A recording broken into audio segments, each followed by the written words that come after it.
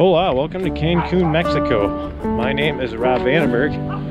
I just recently took up traveling full time and I plan on doing so for a while now, visiting as many countries as I can until I get sick of it, which I don't know necessarily it will happen or not. Uh, but I decided to start a channel and kind of document um, everything that I do. So I'm going to be posting random videos of uh, not only Cancun, but Mexico in general as I travel throughout this beautiful country.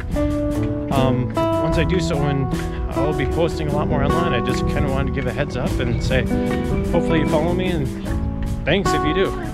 So some of the things you could expect to, me to be talking about on this channel everything from touring around different countries, exploring new cultures, different people, um, inspiration, motivation, and backstories of how I actually came to do stuff, something like this.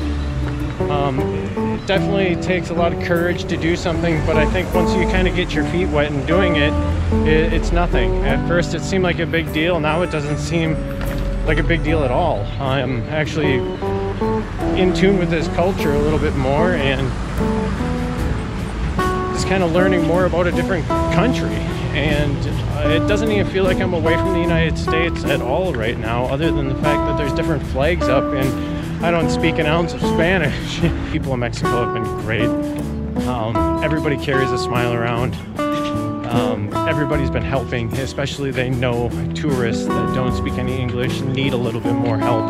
Uh, and the people here have been amazing. Are there people that frown upon me uh, being a tourist here, of course, I think you get that anywhere. Uh, you get that in the United States. I mean, you're from there and, you get people that don't necessarily welcome you into their communities. But here it's a little bit different. Um, there's a different flavor. Um, you heard that before about different countries, but there's a different flavor here and it's kind of great. So like I said, stick along, stick around with me and I'll try to show you as many cool things as I can.